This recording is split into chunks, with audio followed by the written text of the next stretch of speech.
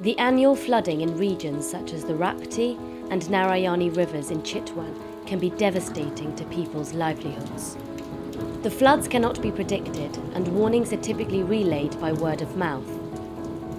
By the time the information reaches the last household in a settlement, it is often already too late. Practical action is improving communities' coping strategies through initiatives such as early warning systems, emergency shelters, and dikes to channel away the water. These projects protect farmland, safeguard people's homes, and save lives.